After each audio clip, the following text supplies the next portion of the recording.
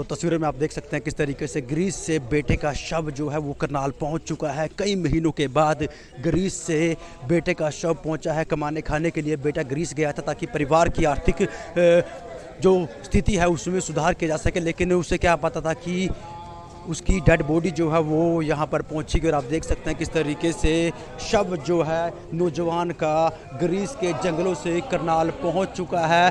परिवार ने गंभीर आरोप, परिवार के लोगों पर पिछले दिनों लगाए थे, हत्या कराने के आरोप लगाए थे और बेटे की डेड बॉडी को पाने के लिए परिवार के लोगों ने करनाल जिला सचिवालय के सामने कई दिनों तक धरना प्रदर्शन किया था और जहाँ और प्रशासन के आश्वासन के बाद ही धरना ख़त्म किया था। और आज आप देख सकते हैं कई महीनों के बाद बेटे की जो डेड बॉडी है, वो करनाल पहुँच चुकी है। परिवार के लोगों का रो रो कर बुरा हाल है। तो आप देख सकते हैं मौत के कई महीनों के बाद जो है बेटे का शव करनाल पहुँचा है और उसका पूरे अब अंतिम संस्कार किया जाएगा। देख सकते हैं किस तरीके से बहन ने ही एजेंटों को साथ मिलकर भाई की ग्रीस में हत्या करवा दी थी और नौजवान युवक अपने परिवार की स्थिति में सुधार लाने के लिए ग्रीस गया था। लेकिन उसे क्या पता था कि उसकी जो लाश है वो उसके घर पहुँचेगी। आप देख सकते हैं किस तरीके से मौत के कई महीनों के बाद नौजवान युवक का जो शव है वो करनाल पहुँचा है और कुछ ही देर बाद उनका अंतिम संस्कार किया जाएगा। वो बिल्कुल सत्य है। जो आरोप है जब तो ये डेड बॉडी आई जो उस बच्चे को तो वो अब जेल में बंद है हाँ जेल में बंद है। उन्होंने दो बार अपील भी लगाई थी। वो लोग उनकी खारिज हो गई है। देखो आज इन लोगों ने दस लाख रुपए का मकान अपना प्लॉट बेच के अपने बच्चे के ऊपर पैसे लगाए और इन लोगों ने वो भेजा। भेजने के बाद वहाँ जाके ग्रीस के ग्रीस में जाके उसका मर्डर कर दिया। ये मर्डर है। ये मोहनलाल जी भी कहते हैं मनोज जी भी कहते हैं और एसपी साहब भी कहते हैं। तो ही ये बहन ने मरवाया ये। सिर्फ़ मैं उस बहन को ऐसा कहता हूँ कि तेरे को नरक में भी जगह नहीं मिलेगी जो इतने इतना सुंदर और इतना लायक अपना भाई तूने मरवा दिया। तो आप देख सकते हैं किस तरीके से परिवार के लोगों का रो रोकर बुरा हाल है। बेटे का शव मौत के कई महीनों के बाद करनाल पहुँचा है और उसका संस्कार अब किया जाएगा। देख सकते हैं बेटा जो है अपने परिवार की आर्थिक स्थिति को सुधारने के लिए विदेश गया था, ग्रीस गया था, लेकिन वहाँ पर बहन ही एजेंटों के साथ मिलकर अपने भाई की हत्या करवा देती है और बेटे के शव को करनाल मंगवाने के लिए परिवार के लोगों ने भी कई महीनों तक जद्दोजहद की थी। और धरना भी दिया था और परिवार को जब आश्वासन दिया था। मामा है ना जो पुलिस में काम कर रहा है वो हरियाणा पुलिस में कम काम करता है वो ऐसे ऐसे काम करता रहता है उसका शौक है ये।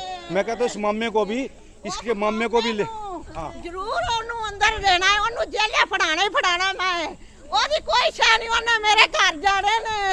उस कुत्ते मेरे घर जाने ने मामे ने ओने घर रखया सी ओने मेरी धी भी घर रखया सी ओने मेरे घर जाने ने मेरा पुत्र भी ओने मरवाया है ओने मरवाया आप देख सकते हैं तरीके से बेटे की लाश मौत के कई महीनों के बाद जब करनाल पहुँची तो परिवार के लोग रोते बिलखते हुए नज़र आ रहे हैं। जी हाँ बेटा परिवार की आर्थिक स्थिति को सुधारने के लिए विदेश गया था, लेकिन आज मौत के कई महीनों के बाद उसकी जो लाश है, वो यहाँ पर पहुँची है, और अब कुछ ही देर बाद बेटे का अंतिम संस्कार किया जाएगा। लेकिन आप देख सकते हैं बे नौजवान बेटे की माँ का रो रो कर बुरा हाल है। किस तरीके से महिलाएँ जो है विलाप करती हुई नज़र आ रही हैं। जी हाँ महिलाएँ विलाप करती हुई नज़र आ रही हैं। किस तरीके से माँ का रो रो कर बुरा हाल है? हमारी आप सभी से अपील रहेगी। जितने भी लोग इस खबर को देखें, वो इसे आखिरी बार परिवार नाल मिलाता पुलिस प्रशासन ने की कहना चाहोगे प्रशासन दा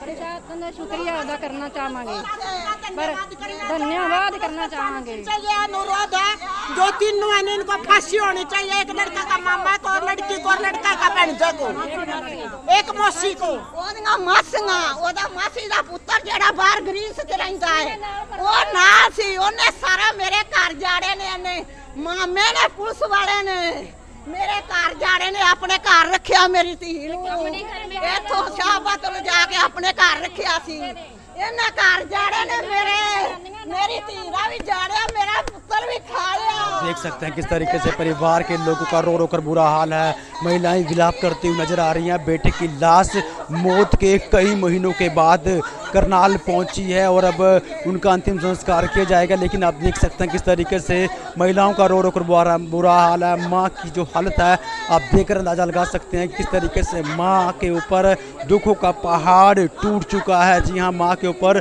दुखों का पहाड़ टूट चुका है। बेटे की लाश मौत के कई महीनों के बाद करनाल पहुँची और आप देख सकते हैं किस तरीके से महिलाएँ यहाँ पर विलाप करती हुई नज़र आ रही हैं।